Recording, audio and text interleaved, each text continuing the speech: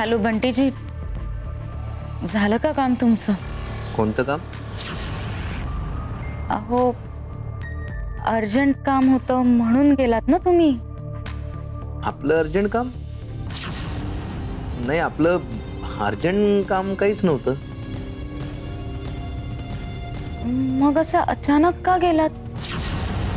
नहीं वो हम क्लाइंट से मिलने गए थे. ते नवरात्रीचं काम आहे ना आता मंडप सजवायचं आहे आपल्याकडेच असतं डेकोरेशनचं काम. तिथेच गेलो होतो आपण. म्हणजे क्लायंटला भेटायला गेला होता? हा म्हणजे क्लायंटलाच भेटायला गेलो होतो आपण. अर्जंट नव्हतं म्हणजे? नहीं अर्जंट तो कुछ नहीं था. तरी गेलात? स्वप्नालीजी तुम्ही आपल्याला असं का विचारताय? नाही काही नाही. मी ठेवते फ़ोन. आराम करायचा आहे मला.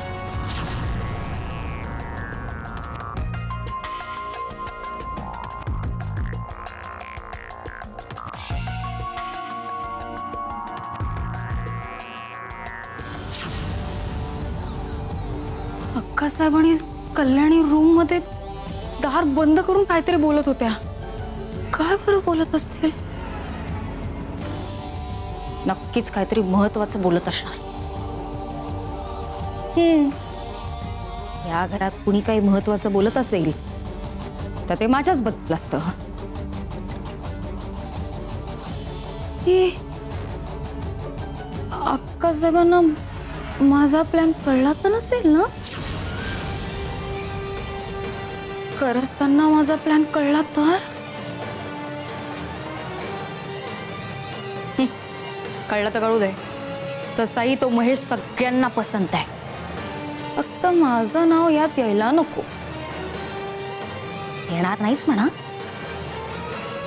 जरी प्रकरण वाटलंच तर या सगळ्यात बळी कुणाचा जाईल बरं? एकाच व्यक्तीचा. बिचारा बंटी मिश्रा।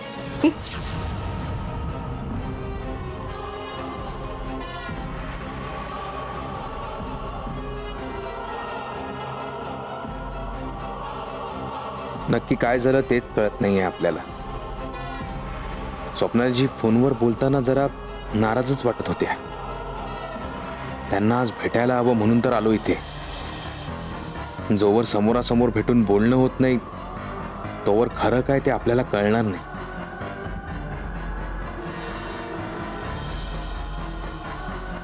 नाही नाही समीर.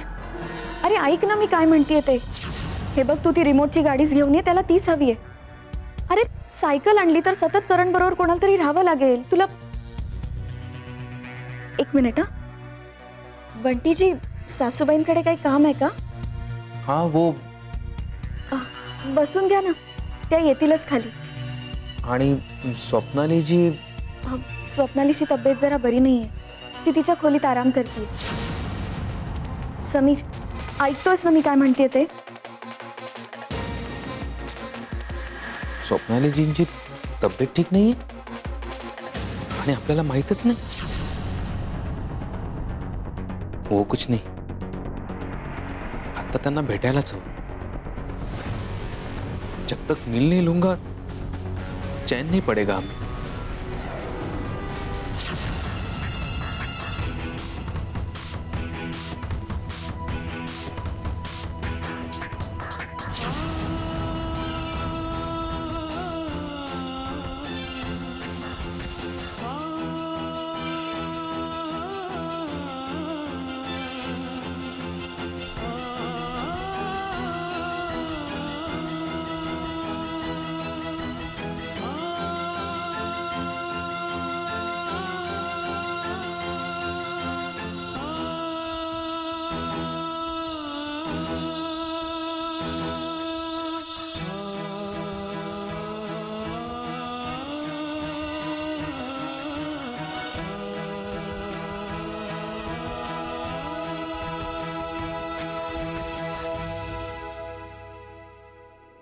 स्वप्नालीजी आत्ता आपल्या लक्षात आलंय. तुम्ही आजारी असताना आपण तुम्हाला पाहायला आलो नाही म्हणून रागवला होतात ना? पर आपने कुछ बताया नहीं तो हमें कैसे पता चलेगा? खर तर आपण पण तुमच्यावर रागवलो होतो. पण आता तुम्हाला या अवस्थेत पाहिलं आणि आपला राग गेला.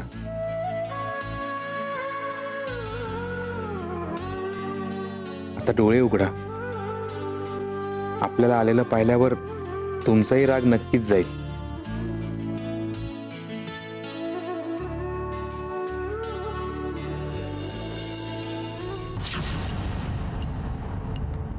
स्वप्नालीजी? सासूबाई. काय ग? काय झालं? सासूबाई बंटी मिश्रा आलेत तुम्हाला भेटायला. बंटी मिश्रा माला भेटाय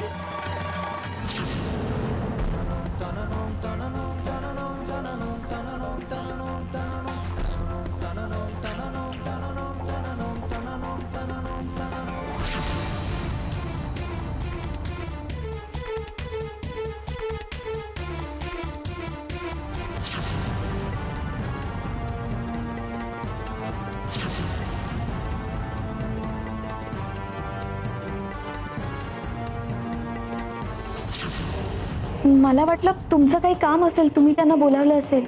अगं मी नाही. अगं त्यांचंच काहीतरी काम असेल. त्यांना बसव चहा वगैरे विचार. मी जरा स्वप्नालीला भेटून आले? बाय.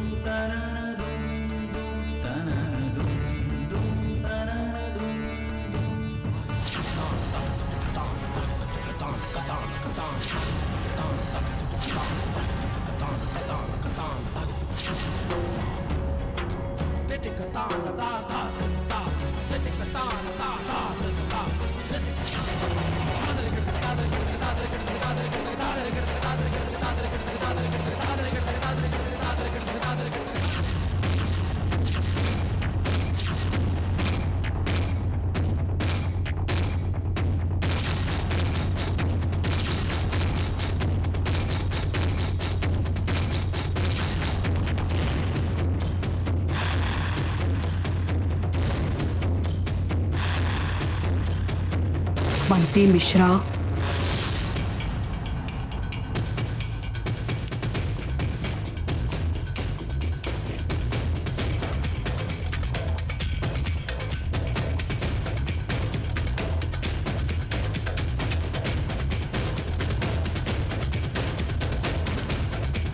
कसं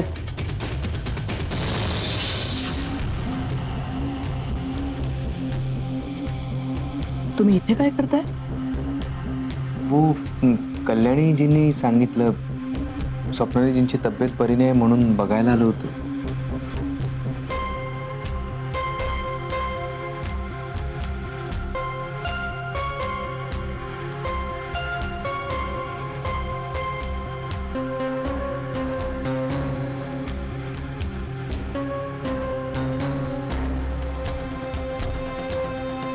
कसे?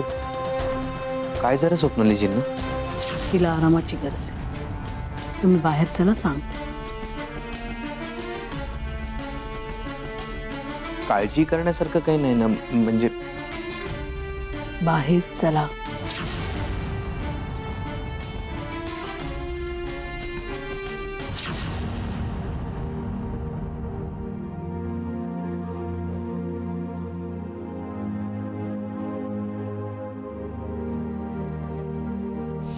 काय काय बंटी मिश्राचं नाव ऐकून भूकंप आल्यासारखी का दचकतेस तू? नाही नाही ब- दचकले नाही काय ते आ- आ- आश्चर्य वाटलं. अचानक कसे आले? काकू अहो मी बंटीजींना सांगितलं होतं इथे थांबायला सासूबाईंची वाट बघत. पण सासूबाईंना उशीर होतोय म्हणून ते निघून तर नाही ना गेले. गेले असतील तर बरंच आहे. काय बोललीस? हा नाही. मी काहीच नाही बोलले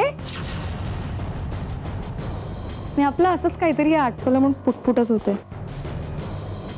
आक्कासाहेब आपल्याला कळत का स्वप्नालीजींना काय झालंय नेमकं? तुम्हाला सांगितलं ना? काळजी करण्याचं काहीही कारण नाहीये.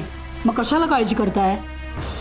आपकी बात एकदम सही आहे पण असं चालता बोलता माणूस एकदम आजारी पडला तर काळजी वाटणारच ना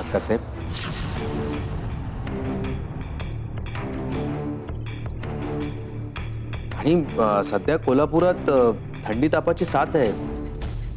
स्वप्नालीजी बाहेर गेल्या होत्या, तेव्हा त्यांना तसं काही झालं असेल आणि त्याचाच परिणाम असला तर?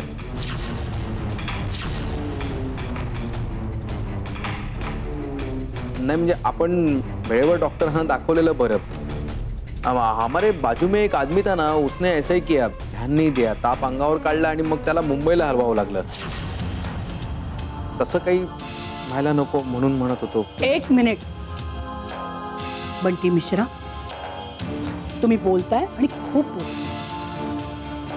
खरं तर आम्हाला बाहेर जायचं पण तुम्ही बोलताय म्हणून आम्हाला थांबावं लागतं.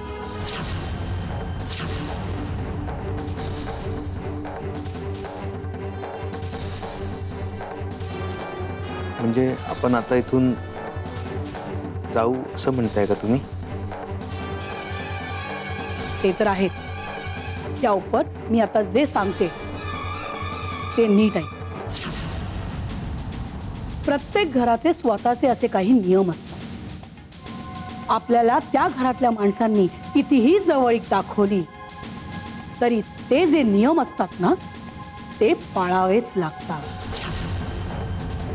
तुम्हीच सांगा, तुमच्या घरात जर तुमच्या आईच्या ताईच्या खोलीत परपुरुष जाऊन बसलं तर तुम्हाला चालेल?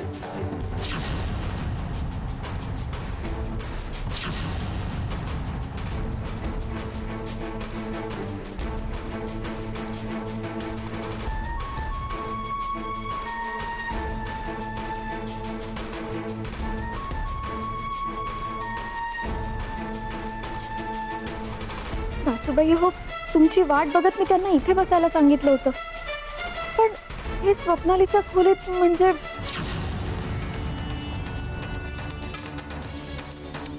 तेच ग. मलाही हाच प्रश्न पडलाय.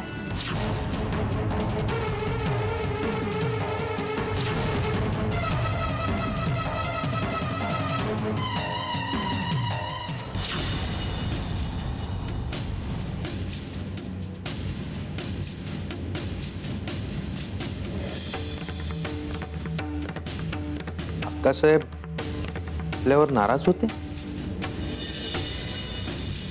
हा नाराजच होते म्हणून तर आपल्याला असं अं, बाहेर घालून दिलं त्यांनी.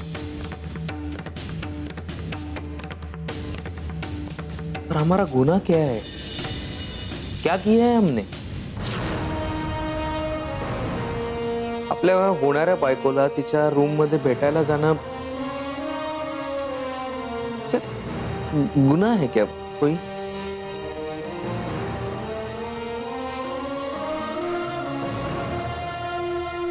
लोक तर आपल्या होणाऱ्या जावायला असं फुलासारखं जपतात. और या क्या हो है? आधी स्वतःच महेश म्हणून नाव द्यायचं आपलं म्हणायचं आणि आता जा.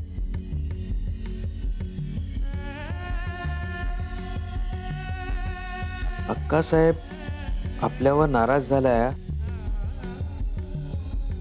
यामागे नक्कीच काहीतरी कारण असणार. काय कारण असेल?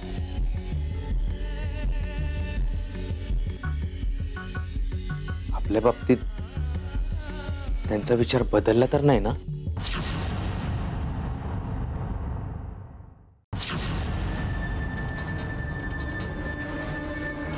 अक्कासाहेब मला वाटतं या बंटी मिश्रांना आपण थोडी जास्त सूट दिली. म्हणून त्यांची इथवर मदल गेली. हो हो आई अगदी बरोबर बोलतायत. मलाही वाटतं. म्हणूनच ते असे वागतायत. एक मिनिट थांब ग. बंटी मिश्रा म्हणजे काही गुंड नाहीये. सज्जन माणूस आणि स्वप्नालीच्या खोलीत जाण्याचा त्यांचा हेतूही वाईट नव्हता. त्यांची काळजी खरी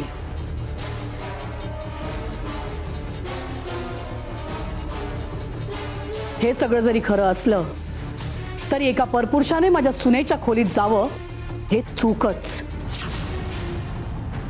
अक्कासाहेब तुम्हाला आठवत आहे ह्याच बंटी मिश्रांना स्वप्नालीने कुठल्या तरी कारणावर नका होईना पण खूप सुनावलं होतं. आणि फक्त सुनावलंच नव्हतं तर ती त्यांचा राग करायची. तेच ना. आता हे सगळं त्यांना ठाऊक असून देखील ते सरळ तिच्या खोलीत गेले. म्हणजे मला हे सगळं जरा देवकी तुला असं वाटतंय का की बंटी मिश्रांच्या मनात स्वप्नाली बद म्हणजे असं मला वाटतं म्हणून मी बोलते हा? देवकी काकू जे म्हणतायत मलाही तसंच वाटतंय. गेले काही दिवस कळत नकळतपणे काही गोष्टी मी पाहतीये. बंटीजींचं आपल्या घरी येणं जाणं वाढलंय आणि आणि काही नाही मी जरा जास्त विचार करते विचार करणं कधीही चांगलंच कल्याणी. आता आपण स्वप्नालीच्या लग्नाचा विचार करूया. महेश रावांशी बोलून तारीख नक्की करते. अरे वा! आता खऱ्या अर्थाने क्लायमॅक्स सुरू झालाय.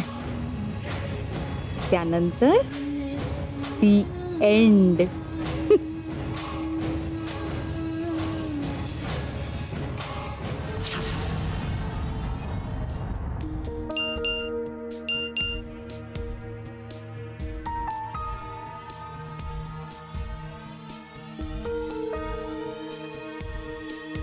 स्वप्नालीजी प्रणाम. आपण तुम्हाला भेटायला आलो होतो पण तुम्ही झोपला होतात म्हणून भेट झाली नाही. फुलांची ऑर्डर द्यायला पुण्याला जातोय. आल्यावर भेटूच आपण. बाय.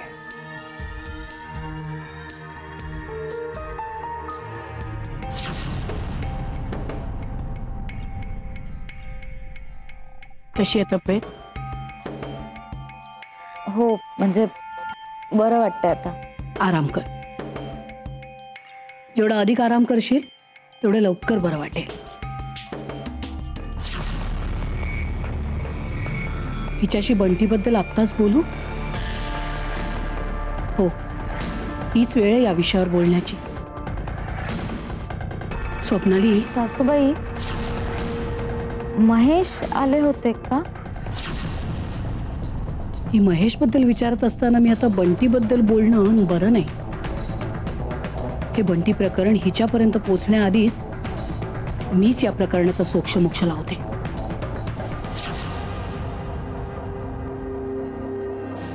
काय झालं सासूबाई? सांगा ना. आले होते का महेश? हो ग बाई आले होते. जसे तुला लग्नाचे वेध लागलेत तसेच त्यांनाही लागले. काळजी करू नका. उद्या घटस्थापन आहे. ती झाली की लग्नाची तारीख नक्की करते. कळलं?